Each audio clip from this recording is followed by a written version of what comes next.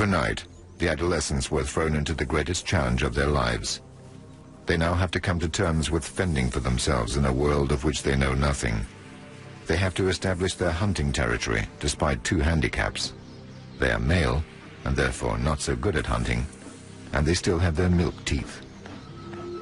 After a long march to put some distance between them and their dreaded father, the cubs discover a stretch of water. Instinctively, the twins sense that their prey will come to drink here.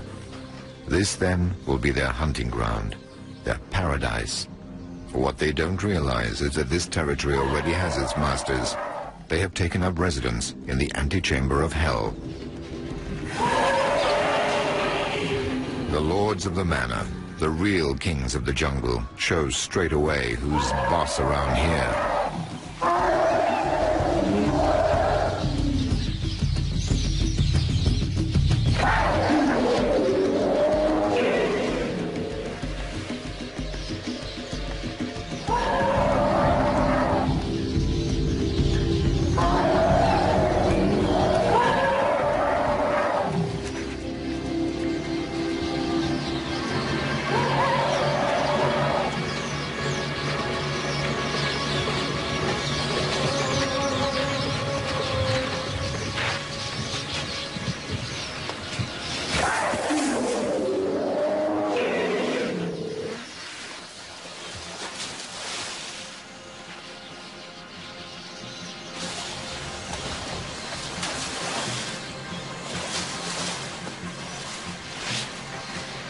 Despite their thirst, the twins have to give way and restrain themselves from drinking in the company of the giants.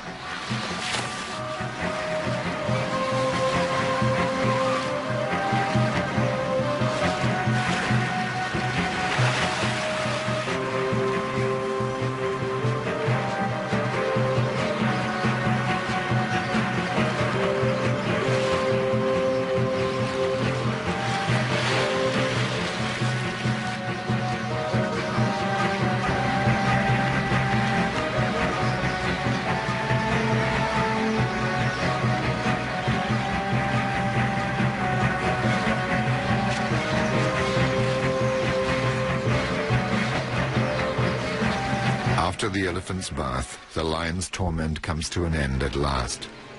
This lake is the sole oasis in this sun-scorched corner of the savannah. Not a drop of rain has fallen here for years.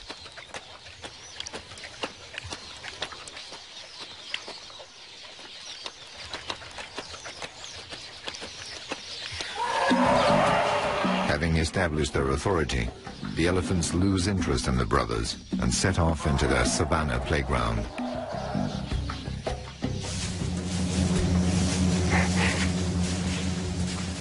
Twins discover the other tenants, a dozen white rhinoceros brought together by the famine.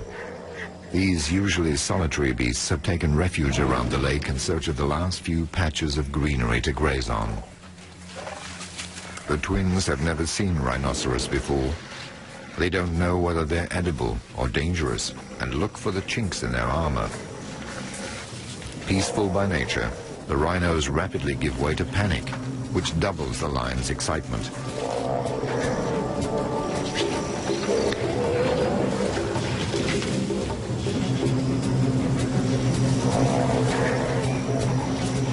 Little by little, the rhinos become aware that the lions are no danger to them and stand their ground the balance of power begins to shift.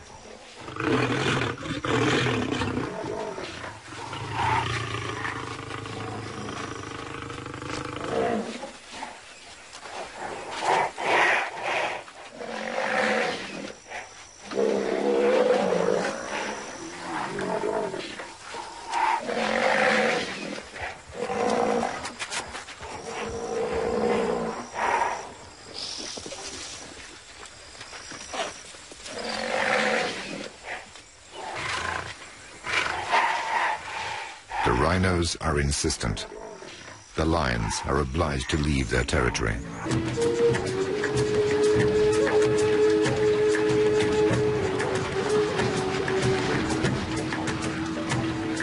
A herd of buffalo, hungry and thirsty themselves, hurtles towards the sole source of water. The other animals, even the more powerful rhinos, get caught up in their fearsome charge.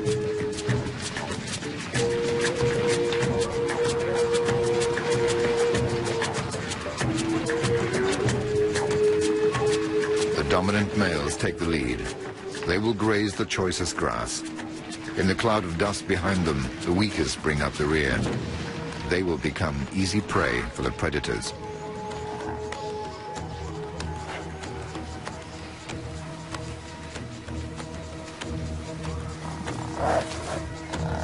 The buffalo are highly attracted to the hindquarters of the females. Some simply rest there, others mount them. The smallest are looking for somewhere to suckle.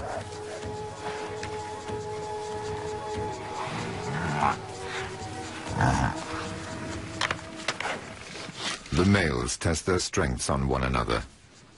Only the strongest will have the right to mate with the females.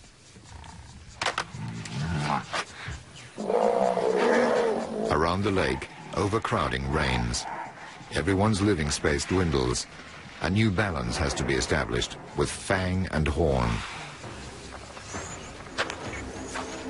The cubs have eaten nothing for a week. The presence of the buffalo sharpens their hunger. But this time the twins do not give up. They challenge the serried horns. They look for prey who show signs of weakness, but the dominant buffalo protect their family. While one dominant male faces off and distracts the lions, the herd imperceptibly surrounds them.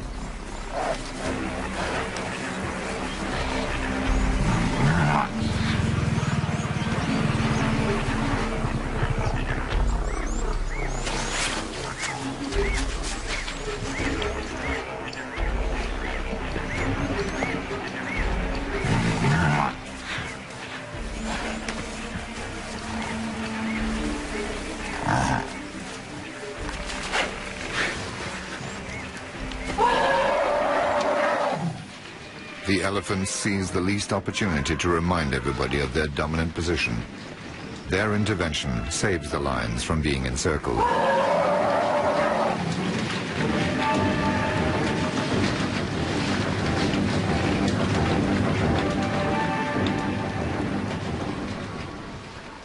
Finally, the lions find easy pickings.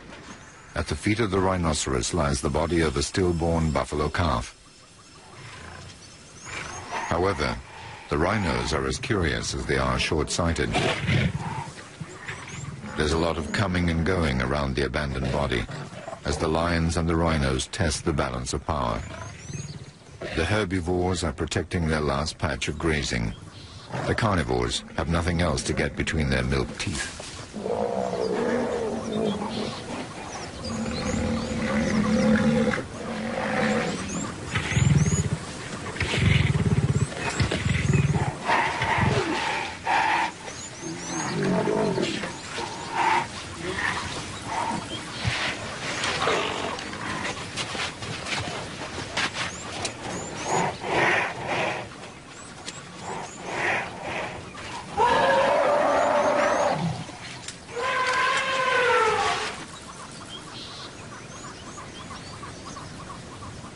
Reduced to scavengers, our lions are falling some way short of their reputation as predators.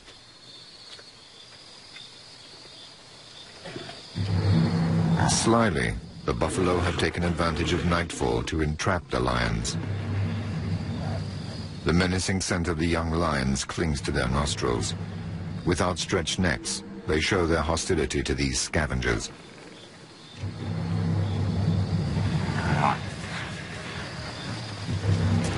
Lions are surrounded. For all their proud demeanor, they opt for a strategic withdrawal.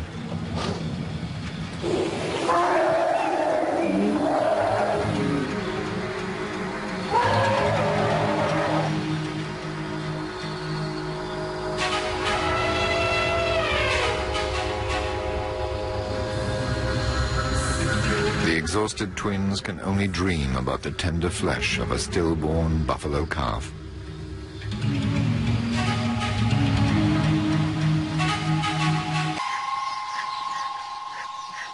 Drought has scorched the grass right to the roots.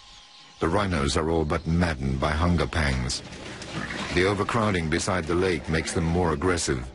Even within family groups, one will fight another for a little bit of territory, a shaded corner, or to be the first to take a drink.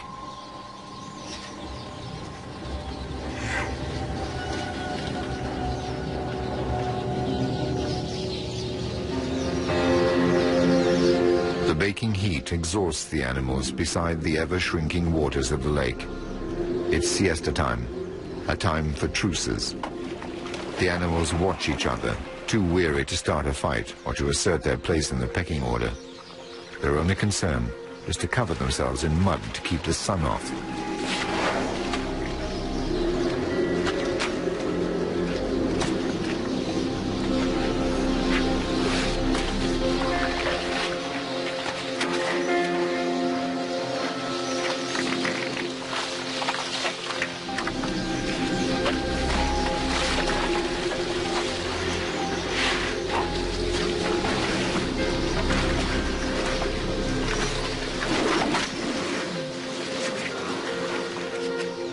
To get rid of the parasites, each has to do the best he can.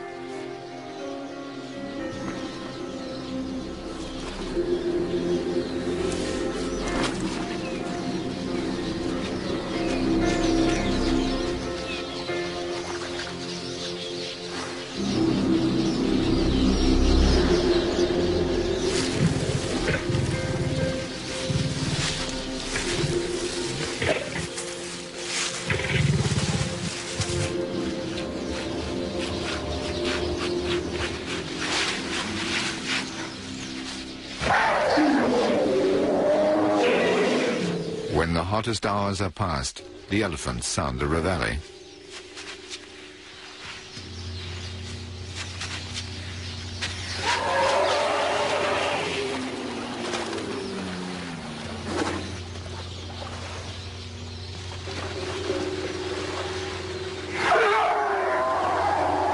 In their capacity as the lake's policemen, they get everybody back on their feet, even the most unwilling.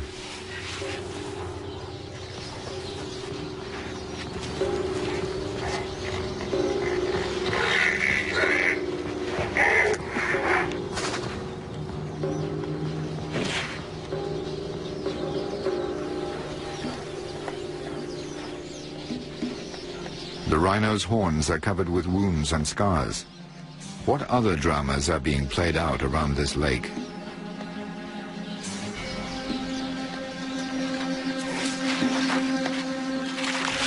In fact, the atmosphere is seething with overcrowding and sensuality.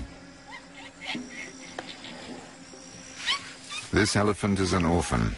At 10 years old, growing out of adolescence, he's having trouble controlling his first sexual urges.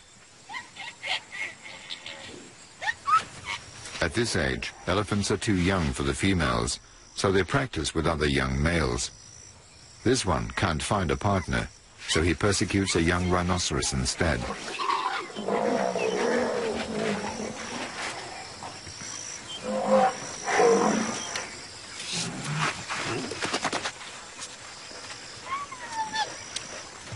With no family, no adults to moderate his behavior and serve as role models, he adopts unusual patterns of behavior. Normally, the rut lasts a few days each year. However, the absence of adults makes him precocious and extends it to three months. The elephant's behavior even becomes cruel. There are no forbidden games in the savannah.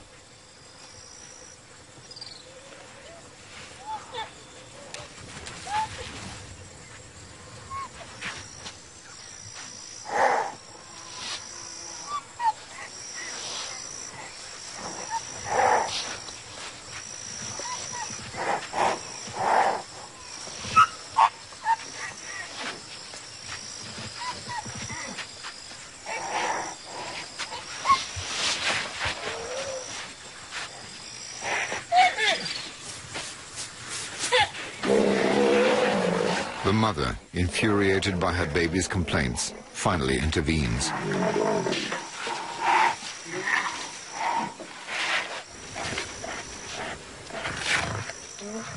At first, the rhino only amuses the elephant, who is delighted to have a playmate.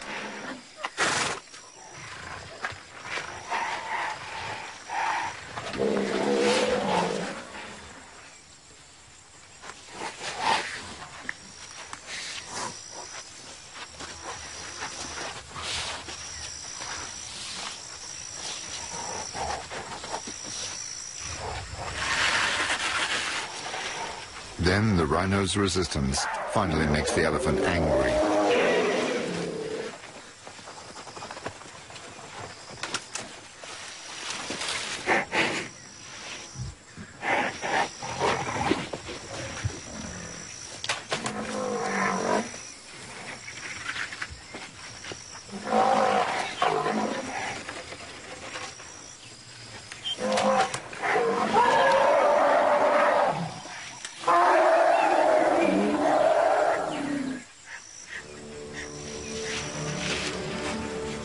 After he's calmed down, the elephant returns to a young female with whom he has a special emotional attachment, but who's too young for a sexual relationship.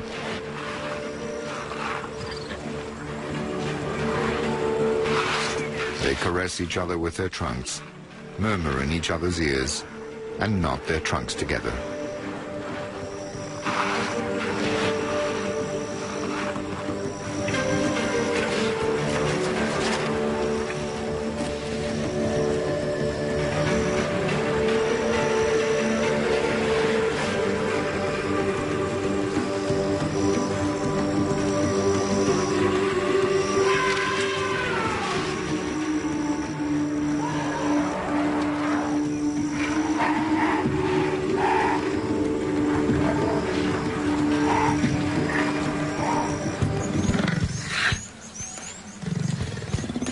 Young leopard, too, has been forced by hunger into territory beside the lake.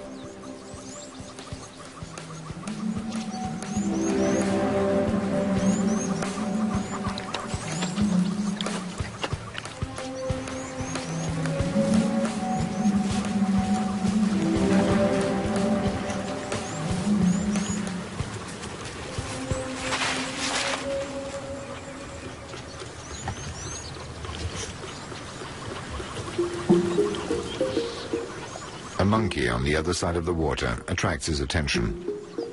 The leopard sharpens his claws before setting off in search of prey.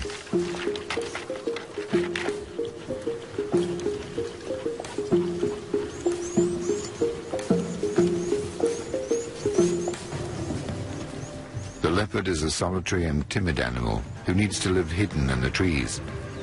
When he moves across the savannah, he does so cautiously, shoulders hunched. Any large animal frightens him. However, he's exceedingly cunning and dangerous. Unlike the lions, this young predator already has adult teeth, but he has one handicap. He hasn't yet enough strength to lift his prey.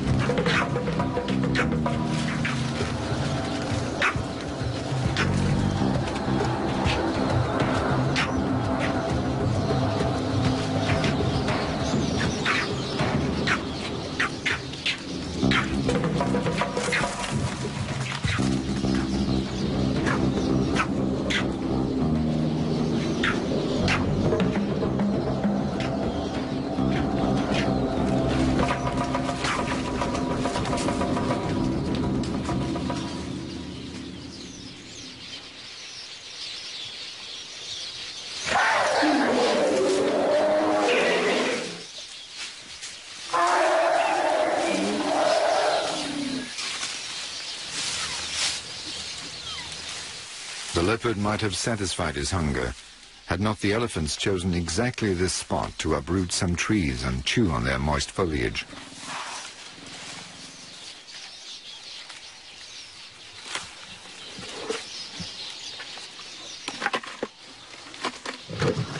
Fear makes the leopard clumsy. His heavy prey might slip from his grasp.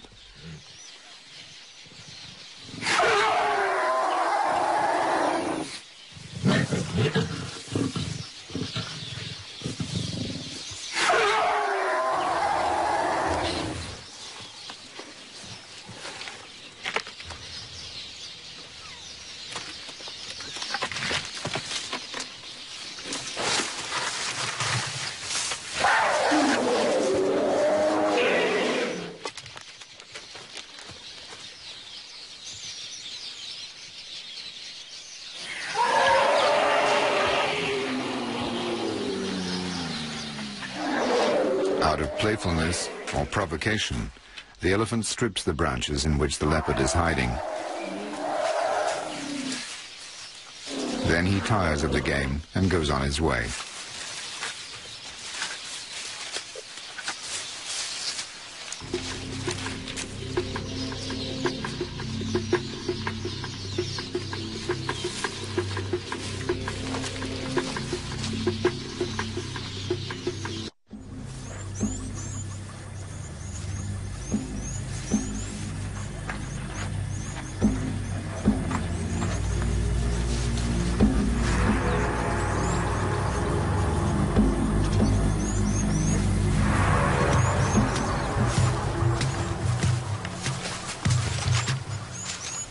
Hides his meal in the tree, but the carcass is too heavy for him to carry right to the top.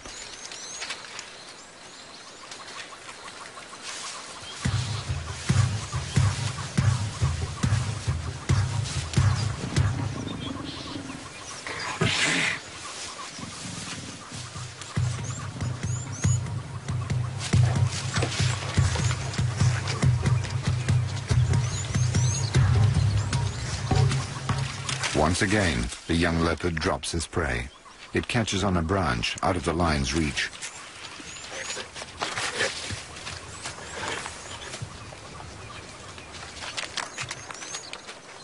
The leopard has good reason to fear the lions. They climb trees.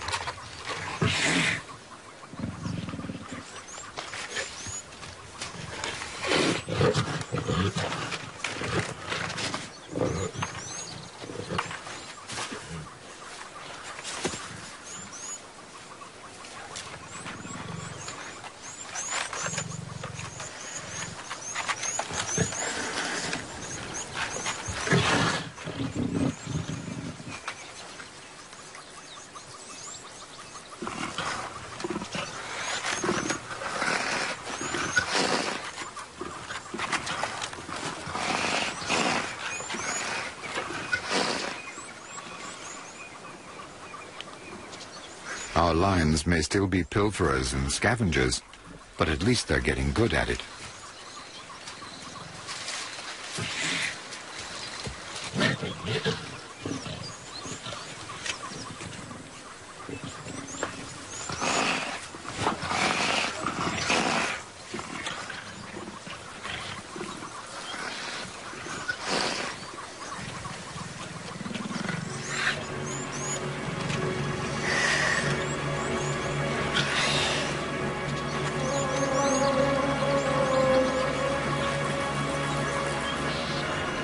Their meal, the lions leave the frustrated leopard at the top of his tree without so much as a backward glance.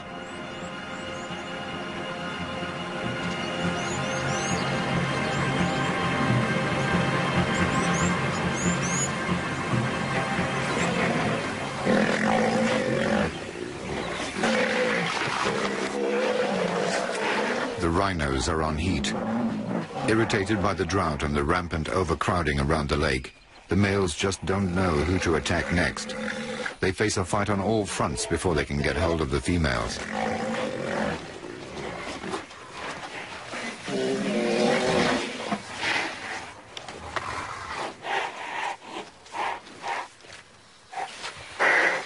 When they finally manage to persuade a partner, their coupling can last a whole hour.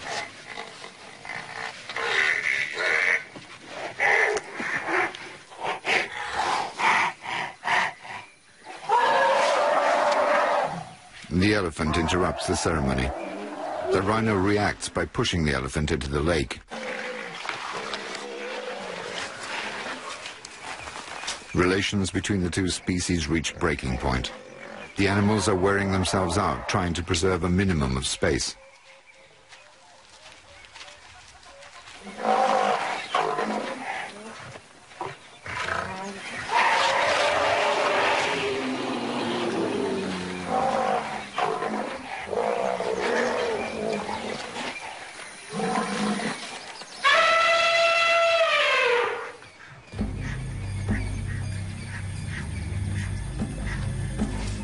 Although he's sole master of the field, the elephant keeps his weapons at the ready.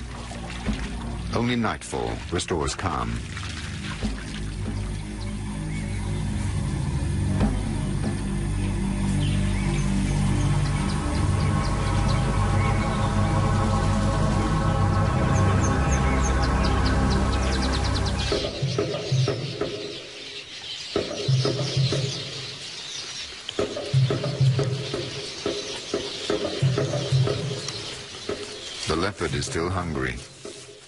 Needs to find food at all costs.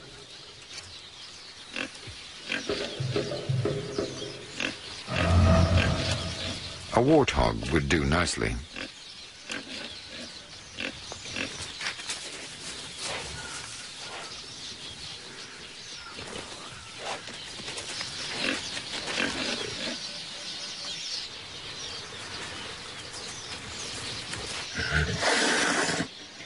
leopard has picked up the scent of the lions. For obvious reasons, he wants to avoid them.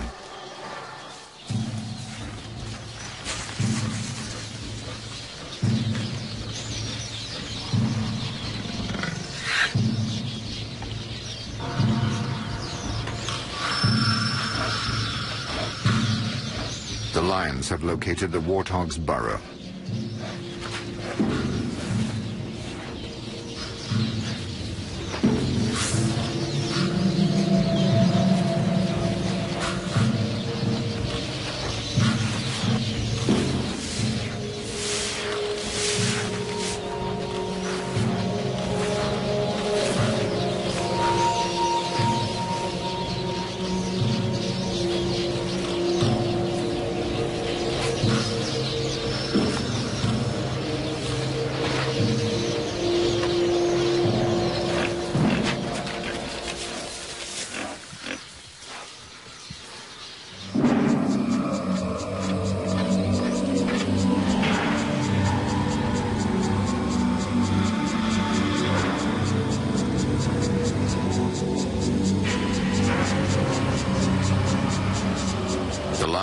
Chance of success is to surprise their prey from upwind. They run out of breath very quickly, so they need to get to within 20 meters, ready to pounce.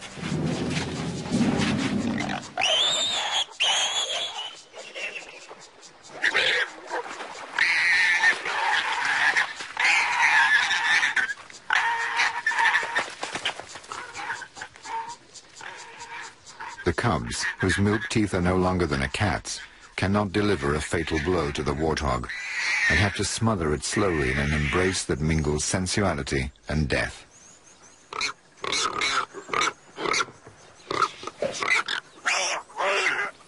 This hunt means that the lions have shaken off their status of thieves and scavengers. They have become predators. But their purgatory is far from over. They've forgotten the menacing presence of the other large animals drawn together on the overcrowded banks of the lake. They will not put up with young lions in their territory who, one day, might turn against them.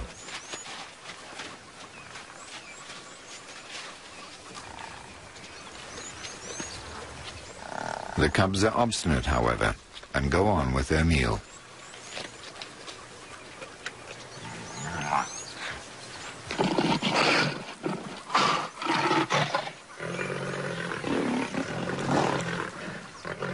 Fearful, the twins pluck up courage and make a move in the direction of the females, the weak point of the herd, prompting the start of a stampede.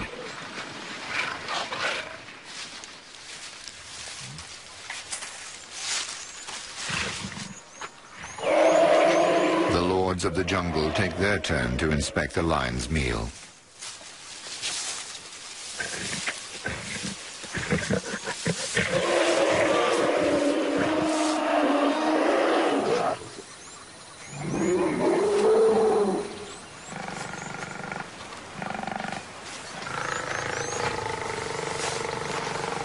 The elephant shows his disgust of the meat and covers it with earth.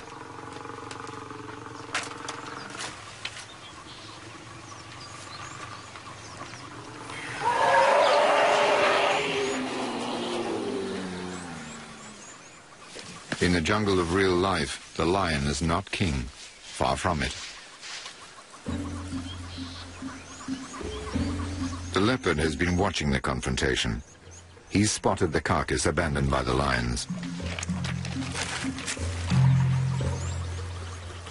But he's wary of the other large animals still present and has to trick them to get his claws on the carrion.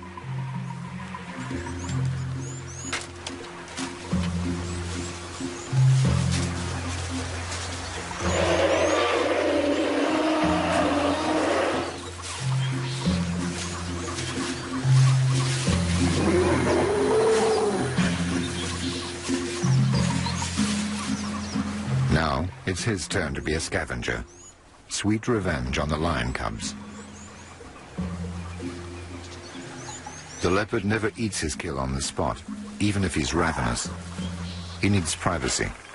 The scent of other animals makes him nervous and indecisive.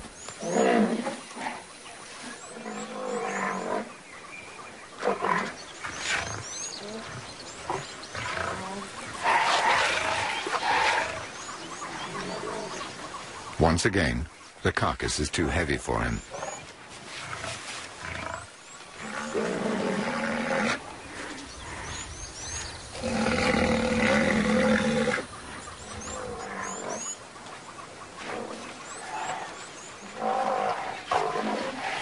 And the carcass ends the day between the legs of the rhinos.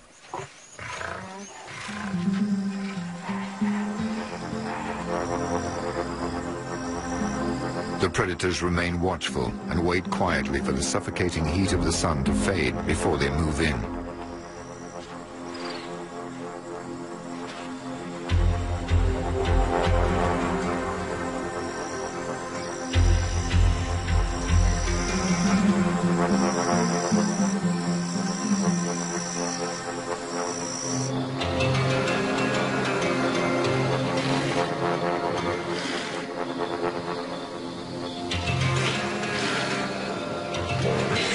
That has tasted its own kill will never abandon it. So tonight, the lions, who have just made their first kill, will have to recapture their trophy. That will be the proof of their skill, or it will be the end of them.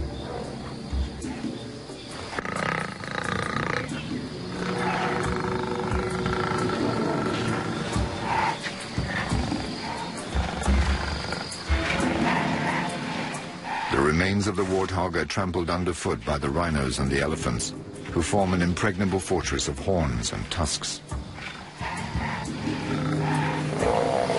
As soon as the twins start their approach, the rhinos move into triangular formation and advance one at a time, so there's always a sharp horn at the corners.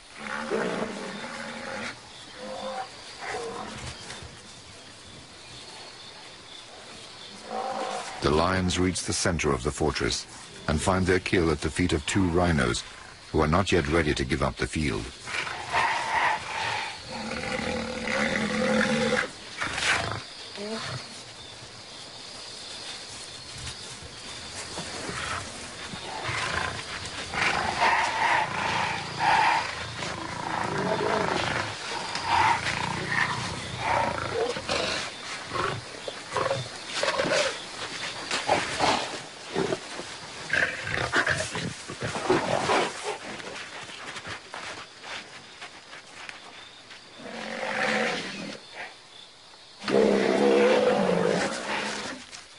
The learned that two heads are better than one.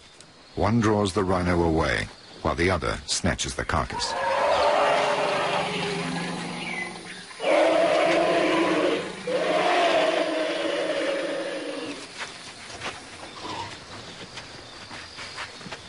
When the elephant threatens them, they play their trick a second time. One sells the dummy, the other carries off the prize.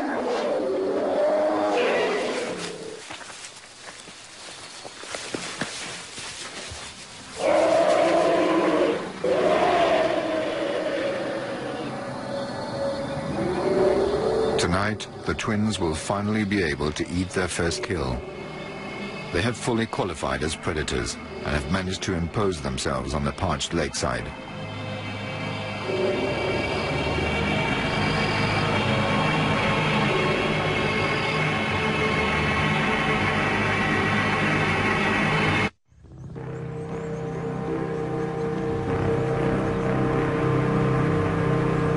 One year later, the sun has nibbled away still further at the South African savannah. The twins have grown, and their incisors have become fearsome weapons. The full mane and beard means that they're approaching adulthood. They're three years old, and still very affectionate towards one another. However, their playful appearance hides a pair of killers. They're rumored locally to have seriously injured a woman and a young girl. Today is a day for the hunt. They roll in the droppings of the elephants and the rhinos to polish their coats and camouflage their scents.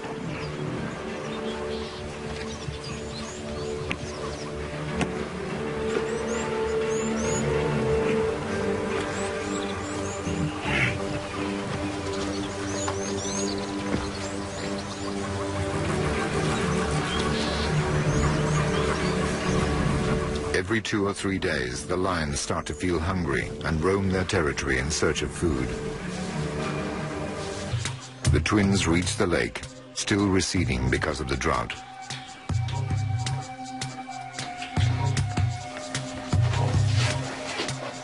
The rhinos are becoming more and more numerous.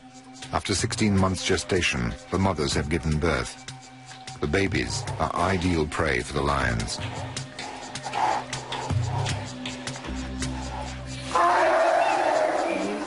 They are also the ideal target for the elephant's games. But this baby, a real fireball, is not ready to let them have it all their own way.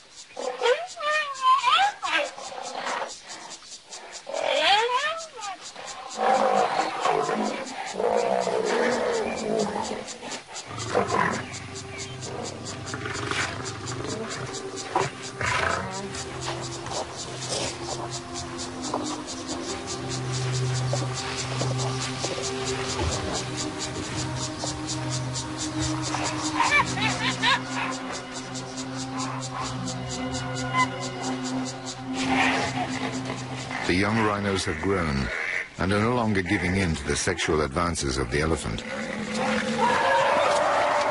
The elephant, still guided by the need to ensure his control over his territory, seems to take pleasure in knocking the rhinos down like ninepins.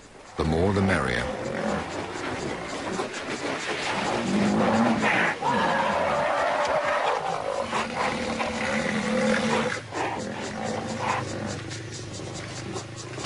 His behavior is quite outrageous, and he doesn't know when to stop.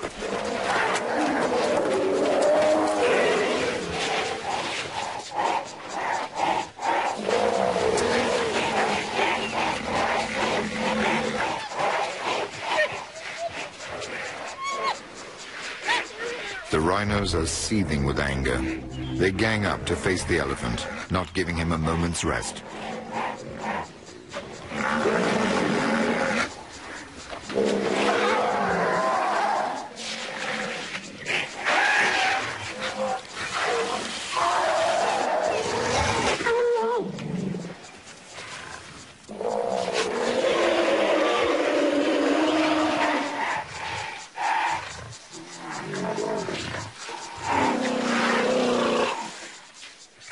Covered in cuts, the elephant abandons the field to the rhinos.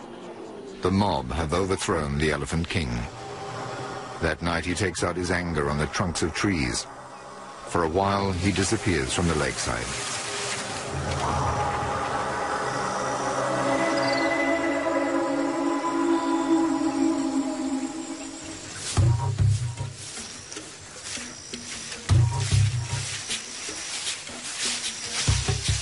Twins survey the borders of their territory. They're nervous. They've picked up the scent of urine of other lions.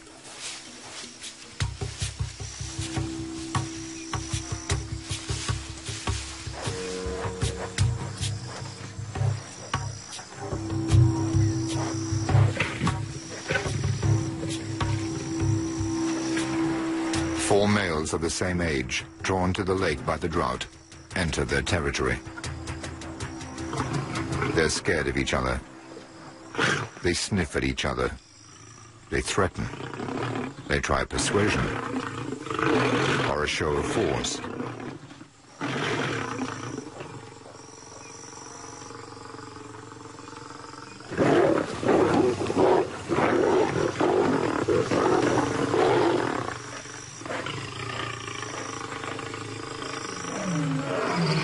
Finally, the matter is resolved peacefully.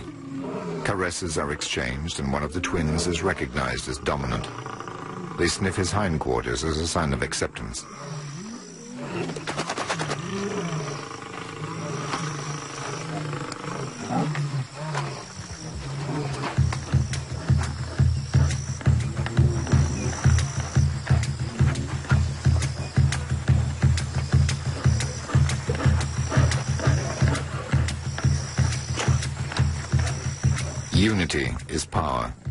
Lions are instinctively aware that they will be increasing their chances of making a kill.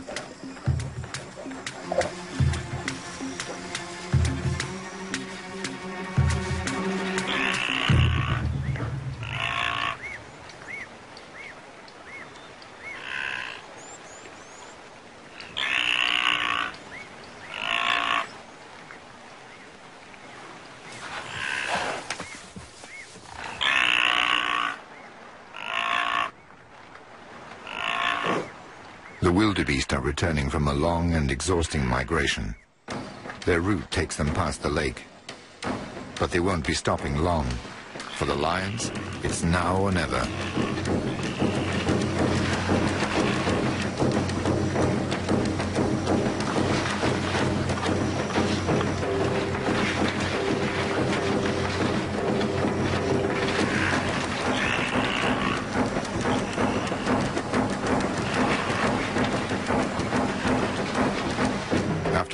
300 meters, the lines are winded. They take it in turns to force the wildebeest into a trap.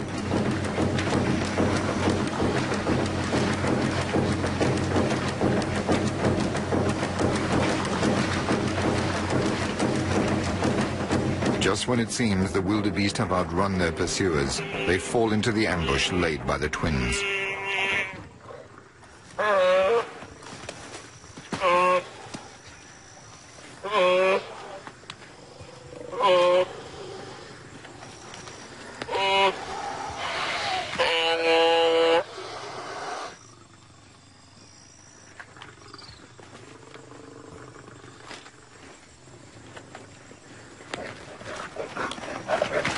Newcomers, exhausted by the chase, demand their portion. But the twins have not yet learned to share.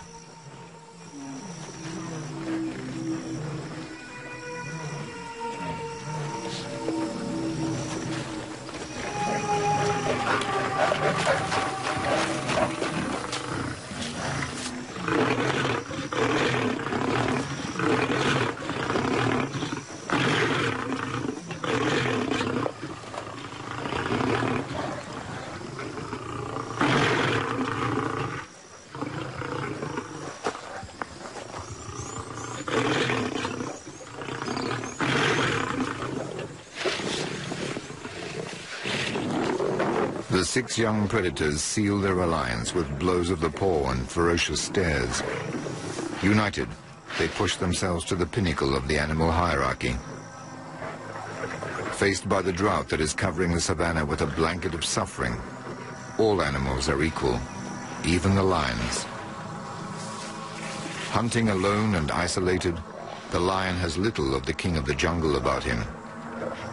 But in a group, they are invincible. Our twins and their new comrades have many good days before them in the territory around the lakeside.